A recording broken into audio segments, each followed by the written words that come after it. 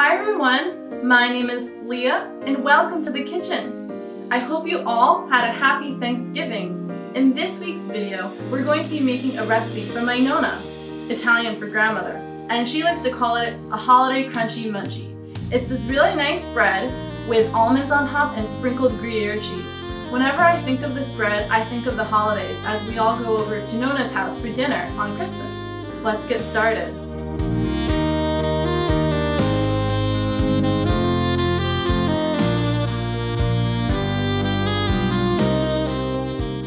For this recipe, you need green onion or scallions, flour, almonds, Gruyere cheese, eggs, butter, Dijon mustard, and some water. Begin by slicing the green onions. Grate 3 quarters cup of Gruyere cheese.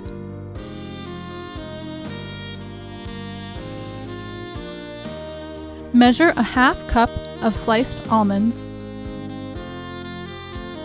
and spread them on a baking sheet. Lightly toast the almonds at 350 degrees Fahrenheit for 10 minutes. Take the almonds out halfway throughout to stir.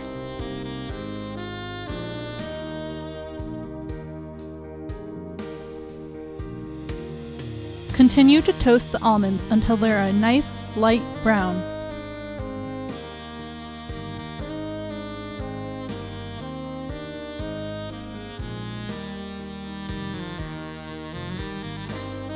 Add one stick of butter to a saucepan. Pour in one cup of water.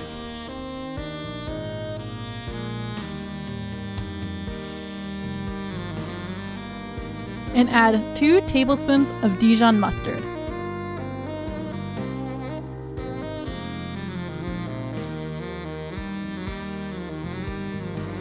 Heat to a rolling boil. Add in one cup of flour and stir with a wooden spoon until the mixture forms a ball.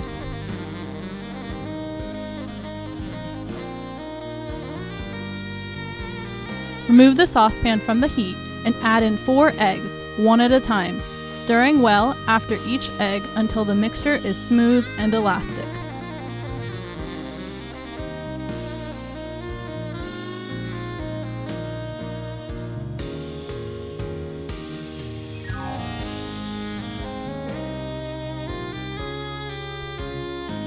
Add in half of the toasted almonds and the sliced green onion. Stir to incorporate.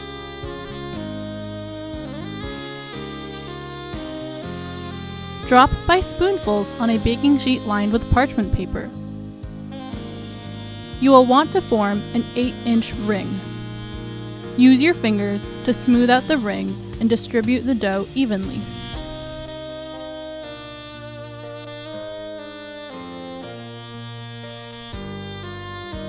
Sprinkle the grated Gruyere cheese all over the top of the ring.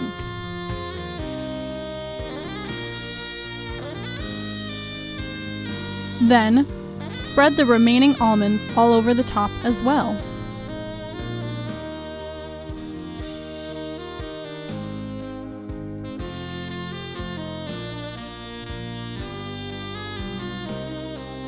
Bake in the oven at 400 degrees Fahrenheit for one hour until well browned.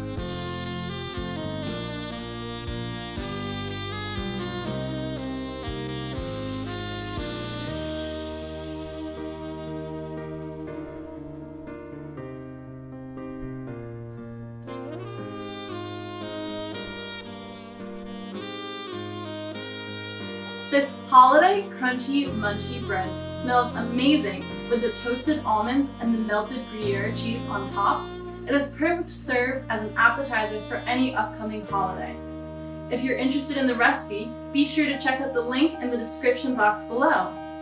If you liked this video, please be sure to give it a big thumbs up and hit that subscribe button for more delicious recipes.